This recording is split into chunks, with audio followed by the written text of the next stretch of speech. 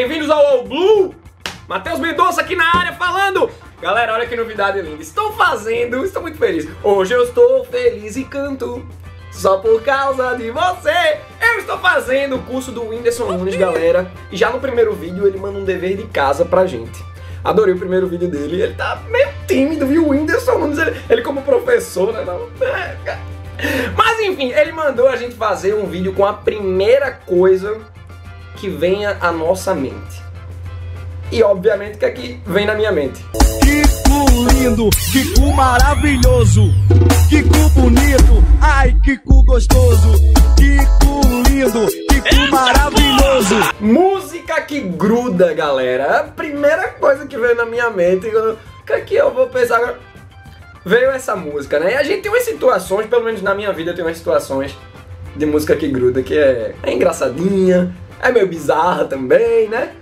Minha mãe mesmo, ela adora escutar música latina. É, eu não curto tanto não, né? Mas de vez em quando ela tá escutando lá, lavando o prato. La puerta se cerró detrás de ti y nunca más volviste a aparecer. Aí é um negócio que fica na sua cabeça, meu irmão, você não consegue tirar. Às vezes você pensa que esqueceu. Aí tá, sei lá, e é umas situações que vem, galera. Aí você tá tendo um velório, aí chega.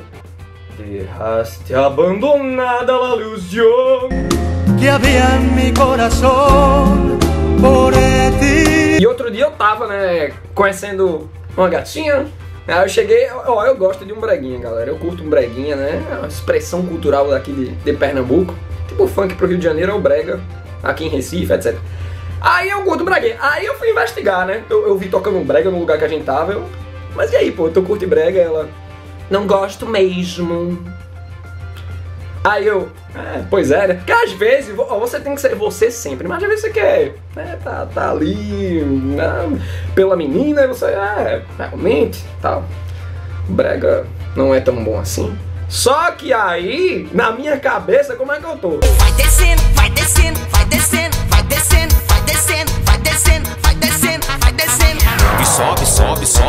sobe, sobe, sobe, sobe. Ó, essas músicas que tem esses trocadilhos, né? Tipo, Kiko Lindo. Acho que o AdSense do YouTube vai até bloquear esse vídeo aí, porque vai pensar que eu tô falando cu de graça aqui, mas é o nome da música.